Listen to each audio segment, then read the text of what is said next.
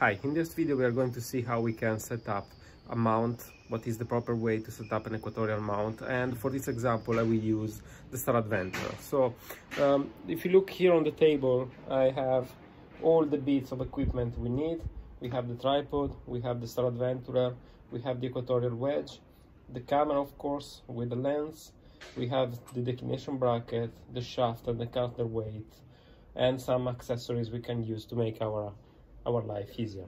So here we are on the small balcony of my apartment in Brussels and uh, this is my um, this is my testing ground and this is because if I look over there I can see Polaris in a small uh, gap between the trees and if I look in that direction at this moment in time I can see Sirius for a few hours so that's enough to give a a go to test uh, new techniques or new piece of equipment.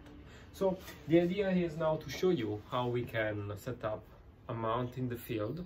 Um, of course the steps are can be different from the different mount uh, than those that I devised for the Star Adventurer, but the general idea is, is, the, is the same. So for the Star Adventurer, I have devised a procedure in about 12 steps. So when you arrive in the location, you can use your cell phone with uh, some uh, um, application like Stellarium in order to verify that Polaris is visible or will be visible when it will be dark from your place um, and then that the intended target, the path through the night for the intended target is free of obstruction so you don't have trees or other things that come in the middle between you and the target and so that you, your imaging time is cut short. So once everything is okay, it's time to set up uh, uh, your tripod. So for this example, we are going to use um, a photographic tripod. This is a Benro uh, Mark III series, is the model TMA28A. It's rather sturdier, but you see it's very lightweight, it's very compact. So first things to do is to understand what we are after, what we are looking after. So if to go on my location I have to hike and I have to carry all my gears in the backpack. Then of course I will use uh, a tripod like that. And uh, of course I will limit myself on uh, kind of astrophotography that I can do on this kind of lightweight tripod. And that will be starry landscape or wide star fields or uh, wide field of deep sky object. Anyway, I will not start to go into guiding or use extremely long focal length because the, while it is stable, this uh, tripod is not good enough to uh, push the limit of the Star Adventurer forward. To, to, so to push the Star Adventurer to its limit. So uh, this tripod is has general section legs and we have three sections. Uh, what I advise you to do is not to extend the last section. This can be fairly thin and uh, you have more joints and you can get some instability from there or vibration that are not dumped as quickly as you would like. So first of all, well, what we do is to extend our legs, maybe two sections for this tripod and uh, once we have that we place it on the ground. Now of course um, when we place on the ground we have to consider where we are. If the ground is soft we don't want to have the tripod sink under the weight of the payload. So we set it down we spread the legs and we check that everything is stable and uh, uh, the tripod doesn't sink. Okay now the, the tripod is set is rather stable. Uh, what you can do also is to use this kind of hooks that you have here on any kind of tripod. You can take a bungee cord and uh, use your camera to pin the, the tripod down on the ground and this way you can increase the overall stability.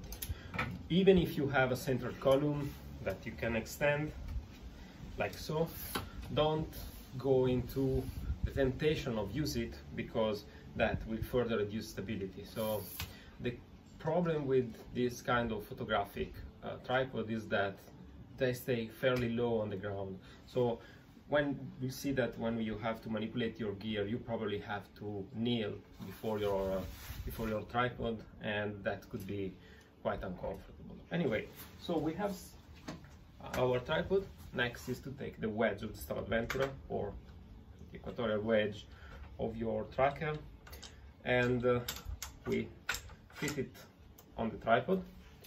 Now we know that this knob here that regulates the altitude um, so basically the latitude for your location that has to point due north so I know north is somewhere there because I know polar is, is there in that direction so here is how I would uh, orient my Star Adventurer and then I can proceed go on and snap the Star Adventurer on top now this is you, you close everything everything is properly set now the Star Adventurer is already set for my latitude that is about 51 degrees north and uh, is roughly pointed at, at Polaris.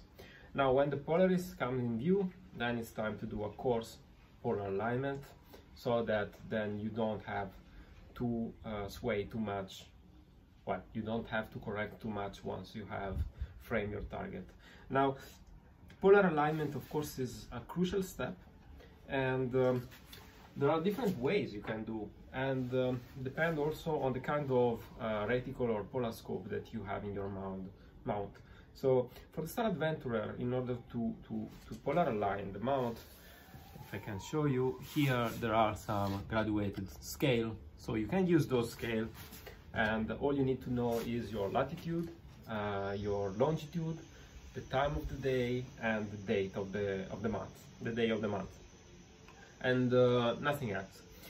If you want to use an application like Polarscope Align Pro, then you need to be sure that uh, this tripod is leveled because this is the only way that you can link the image you see on the Polarscope with the image you see on your phone and this is because when, when you use the app you want to want to put the Polaris where is shown by the app so the reticle inside the mount has to match exactly the orientation of the reticle shown on the phone.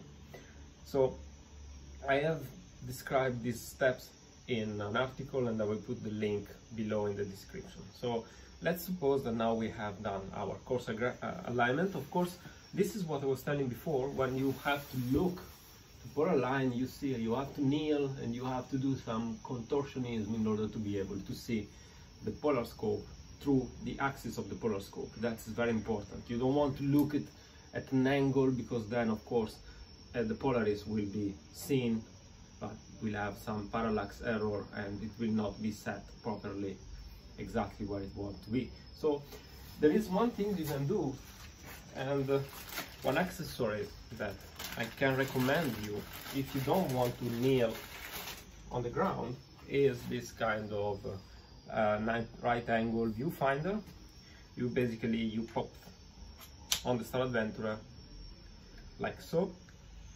and now then you are free to look uh, through this through the Polarscope in a more comfortable way? You can can just do that. You don't need to to you know you don't need to kneel down and to bend uh, even further or sit on the ground and things like that. If you do want to do that if you do need to go to do that I suggest you to buy uh, knee pads that you can strap on your trouser. And these are those you can find in any construction uh, uh, shops um, so the construction worker they use these kind of uh, knee pads and use them to stay dry when you kneel on the ground to be comfortable. Don't you will not feel any gravel or or nothing. So that is a very welcome accessory. So let's suppose now we have um, we have a aligned our mount coarse alignment of course there is no need for the moment to go very precise because we have still to do to carry on some task on the mount and you see it on such lightweight tripod it's enough manipulate a little bit uh, the payload and you have some changing well you, you you can move the mount so now what we want to do next we want to want for anything that is longer than a wide angle lens, what we, we need to do is to uh, mount this declination bracket on the Adventurer.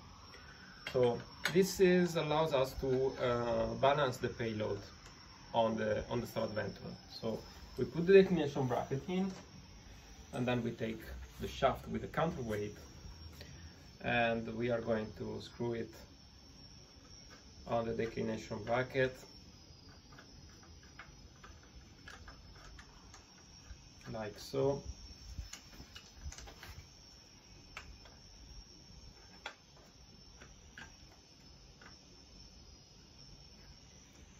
so we're going to screw it on the declination bracket like so and uh, we lock the counterweight so it doesn't slide further down. Um, now this is here, we can put our polar scope illuminator so that this is a great way to mount your gear because through this cut you can still see Polaris and so you will be able to align, to refine the polar alignment and to mount the polar scope illuminator to see better your reticle. Now, um, the point when we have done that is to load to, to mount our camera. Now, the camera, particularly if you have a long lens like this, well, you, you, you don't want to, you, you want to keep things balanced. So if you attach the camera directly through the screw on the camera body, of course, you see that the weight is always on the lens and the camera will tip over, so there will be some stress on the Star Adventurer in this direction. Um, even if you have a tripod collar that is better but will not probably uh, allow to perfect balancing now perfect balancing is, a, is, is achieved achieved when the center of gravity of this of the ensemble lens plus camera plus accessories is sitting on the declination deck in line with the shaft and the counterweight that is the best way to um, to balance your mount. Um, so to do that, a very simple and useful accessories is to have a dovetail plate like this. You can buy in any place, any shop for astrophotography. And to have a clamp like this for the dovetail. So what you do, instead to mount the camera directly on the declination plate, you mount the uh, the clamp and now on the clamp you mount the camera now the beauty is that you can slide the camera back and forth in order to find the equilibrium for the camera lens ensemble. So uh, maybe you can see here I've put a post-it. That's where the center of gravity for this system is even with the accessory on top. And so what you do simply is is to slide your camera in and lock it in place. Lock it well and then you have also an extra security screw to prevent anything bad to your system. Now the camera is strongly fixed to the Star Adventurer and uh, the problem is if you don't do that, you will never achieve a proper balancing because you will have the center of gravity of the lens plus camera that is not in line or not close to the line of the shaft and the counterweight. So in this case, we have the center of gravity that's sitting on the uh, declination deck of the Star Adventurer. That's great. So it's time now to mount everything on our camera. That would be a red dot stop finder here to help us frame, would be the dew heater to prevent fogging of the lens. I will put some links in the description where you can read about these things. And uh, you can put in the intervalometer. So the idea is to create, to build our setup in the configuration that is ready to uh, image. Now we have to find the balancing. Of course, you can see that the balancing is achieved by sliding the counterweight up and down. If I put it down, of course counterweight is much heavier than the camera side and that will put some strain and stress on the on the motor of the Star Adventurer so will not probably will make worse the tracking. And with particular with long telephoto lenses like this one it is rather important that tracking is smooth. So what you want to do is to try to have a zero balance first. So in this case you see the camera side is is is heavier. So we do something like so. You see that now the camera wherever I put it it stays even upside down like this. So that is a zero balance. Uh, is this zero balance bad or good? Some people say it's okay. Uh, some people say it's not ideal because this there is no weight on the gear or inside the unit of the Star Adventurer. So uh, the idea is that if you can put some stress uh, to on the some unbalance this will keep the, the the gears engaged inside the mount and so we reduce any problem with backslash of the gear and the tracking will be smooth. So because if we are in the northern hemisphere what you want to do is to have the so-called uh, heavy east balance. Now the camera is pointing to north so whatever is on my right is east. So if my target is in that direction and my configuration, my imaging configuration will be this, then the camera is on the east side of the Star Adventurer. If I'm going to the other case, this is on the west. So suppose that my target is Sirius down there, so I would be probably imaging something like that. At the time, the Star Adventurer will move, we rotate my payload this way. So if I want to keep things engaged, what I will need to do is to make the counterweight side, because it my east, slightly heavier than the camera. And so I will simply slide slightly downwards the counterweight so that now you see the camera is rotating slowly. So something like so. And this this resistance to the rotation because the rotation is going this way the weight is pulling down is what reduce the backslash in the gears. So we do that by considering which side the, our target is and uh, now we have achieved a good balance. So now we can focus and I will put a link in the uh, link in the description to an article where I explain how to focus properly on stars using telephoto lenses or any photographic lenses. And um, you connect everything. And uh, maybe you have the intervalometer you have the cable of the um, dew strip and you don't want this cable to get in the way of the rotation of the Star Adventurer or of your mount. And so just check that every everything is loose as um, so the, the rotation is not hindered by the by the cable so everything can rotate during the night no problem. So once we do that um, and we have confirmed the focus then we have we can refine the um, the polar alignment because with all this manipulation uh, we so we, we, we, we have moved the camera so we are now in the situation where let's say I'm going to image Sirius that is down there. So the mount is loosely aligned to Polaris. My camera is pointing at my target. Everything is mounted on my, on my camera. The camera is focused. Everything is ready to shoot. Now what I need to do is to uh, refine my polar alignment. So I will double check that Polaris is in the right position. Then I will take another test shot and I will check that for the uh, for the exposure time I choose I have no star trails so everything in terms of tracking and polar alignment is okay I will check for the focus so everything is is okay on the focus and I will check of course for the framing now because we are going to move uh, a bit the mount in order to refine Polaris particularly if you use long telephoto lenses, then we have uh, probably um, moved the target in the field of view of the instrument. Now what you do not want to do is to go and do the clutch, rotate manually stuff.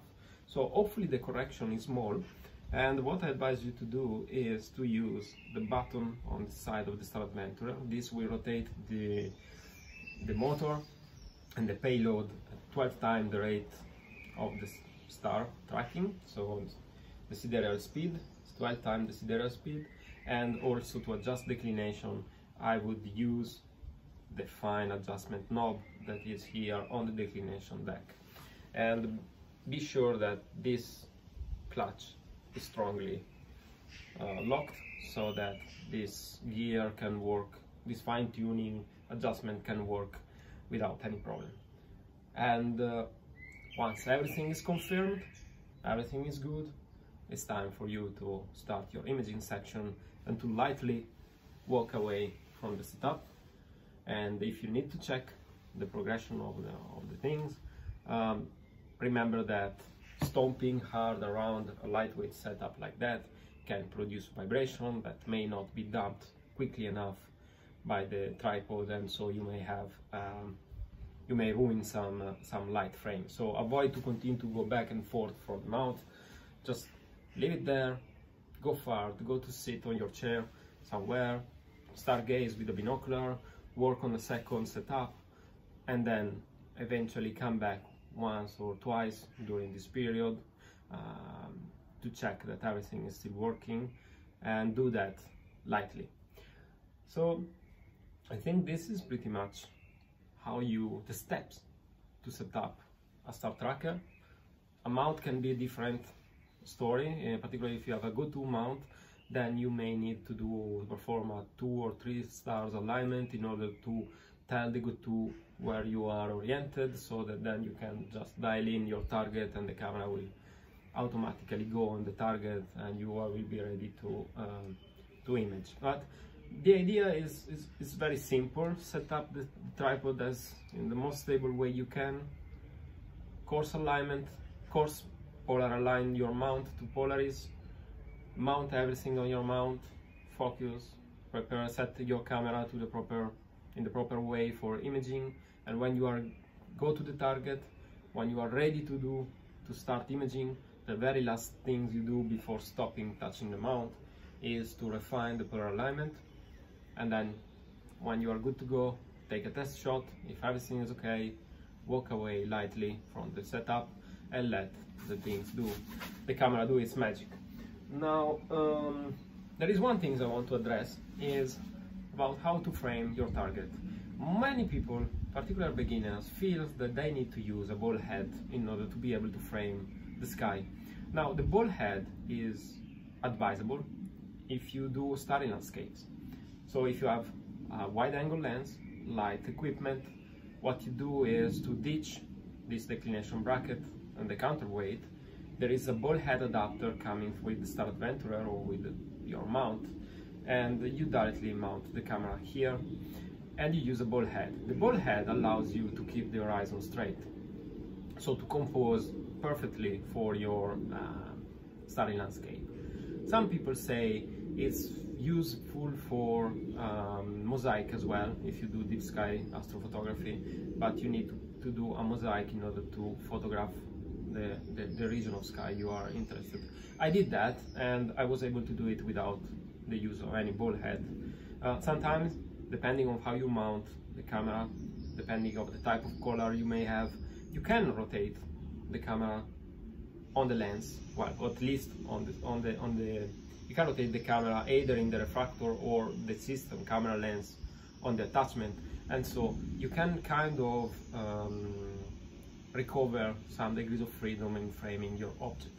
But for deep sky astrophotography, you do not really need a precise control of the framing. It's enough that you put your, particularly if you are wide field uh, astrophotography, then you just center your, uh, your target in the frame and, and you're good to go. Now, this means that you do not need a ball head in order to frame any part of the sky. And the reason why people get confused is because they do not realize that they have two degrees of freedom in this setup. One is of course the rotation of the Star Adventurer. You release the clutch, you have this rotation. And because the mount is is uh, pointing to Polaris, people believe that, okay, I mount the camera in this way and I can only image things that are on this circle that the camera draws. That's actually not true because below here, below the deck of the declination plate, you have second degrees of freedom. That is the rotation of the payload on the declination deck. You just undo the clutch here, the one that we tied nicely before, and now the camera can rotate on the deck. So how does it work? Now I told the Sirius is down there on my right, so what I would do is to do something like so, and then if I need to point upward, I will then slide, well, rotate the Star Adventurer this way. Now if I want to image something that is on the other side, then I would rotate the Star Adventurer in this way, counterweight will go on the side of the target, and then I will rotate the camera this way. And all this part of the sky can be framed. Now if I want to frame myself on the video well then it's fairly easy. There you go. That is that is how you frame something there you want to frame something that is behind me well you just tilt the camera this way and then you play in the usual way with the with the two degrees of freedom provided by the Star Adventurer plus the declination deck. And this is how you frame everything without a ball head. And why the ball head is a problem is because the ball head will push the ensemble camera plus lens farther away from the rotation of the Star Adventurer and so will make much difficult for this counterweight to um, go to balance the payload. So you will have higher stress on the mount, you can you will reduce the quality of the tracking and um, ball head can reduce can induce some flexure and uh, make difficult to have some vibration can happen but one thing that is also not ideal is that if you use long lens then um, with a ball head you have no fine-tuning controls for uh, framing your target you can still use the motor of the Adventurer but as soon as you are going to lose the knob to, to, to, to rotate, to, to, to improve the framing of your camera, well, everything will move like this on your, on your ball head and that will be simply a nightmare.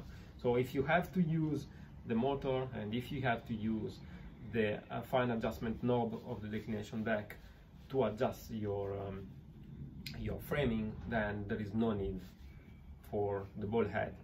And uh, so this is pretty much how you fix how you set up your Star Adventurer or a tracker. And uh, your mount can be full-grown equatorial mount can be a bit different but um, the idea the steps are pretty much the same um, the beauty of the target of, of the tracker is that you can adjust this kind of setup with uh, the kind of intended target you want to photograph so let me let me take some. Okay, so I have uh, unmount everything from my tripod. This is the tripod we were using for setting up before. And of course this is a very lightweight um, photographic tripod. And it may have some instability issues if you really want to push the Star Adventurer to its limit. So the limits of the Star Adventurer are quite high. Um, the payload is 5 kilos you can guide so you can use small refractors and long telephoto lenses and rather heavy equipment. Um, but of course if the Star Adventurer is cap capable to support that weight and to work with that weight that is not the case for this kind of tripod so the fact if you work with a full-grown uh, astrophotography mount the set is complete. You have your heavy tripod, you have your heavy head, you have your heavy counterweights, and you basically don't move from there. The beauty of, of the tracker like that is that the unit is fairly compact, it's fairly light, and so it can be, of course, is intended to do astrophotography in mobility. So you need to fly to your destination, you need to hike to your destination, you or you simply uh, need to move away from the city where you live in then this is the perfect mount particularly if you don't have um, if you really don't want to image using a large telescope.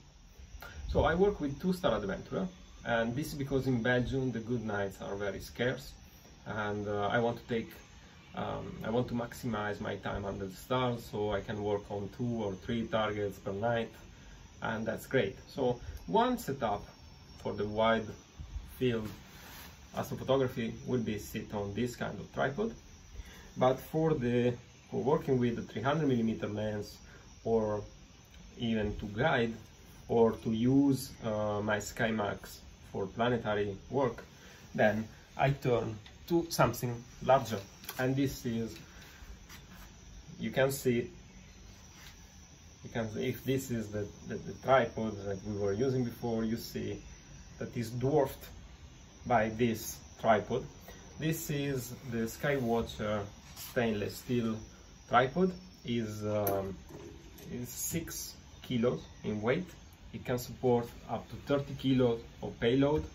I have added the extended the extension column so the pier in order to bring uh, my my pay my my Star Adventurer higher. And uh, here I have a leveling base in case I want to use a polar alignment method that requires the mount to be perfectly level to the ground and you see that basically this is not something you would like to hike from the to, to hike with. But it's very nice it's very sturdy and nothing moves. And when you put the Star Adventurer on it I'm one you can extend all the, the legs. And basically I'm 1 meter 70 centimeter tall and uh, uh, I can comfortably look into the poloscope once I raise the tripod and uh, that will create will make it very easy and comfortable to polar align. plus you don't have any kind of vibration whatsoever and uh, this is even cheaper cheaper than most photographic tripod because a good photographic tripod like this uh, need to be lightweight but yet need to be sturdier you want to have multi uh, you want to multi to have multi-angle legs for maximum flexibility. You need to be compact so you will have a locking mechanism for the for the section of the legs. Maybe a rising column some or maybe the column can that well can also move and rotate so that you can really photograph from low ground nothing of this sort is required for astrophotography. And so you can for the same price of this you can buy the whole ensemble of the Skywatcher tripod with the pier and maybe even the leveling base. And uh, so if you are really serious around about astrophotography and you are with the star tracker because you want to have this flexibility of choose which kind of setup you need for the location you are going to go then I advise you to get a good photographic tripod like this and for the time you want to push your mount to the maximum to have something sturdier and dedicated to uh, astrophotography. So I think this is everything for this video and uh, I hope you have enjoyed and see you next time.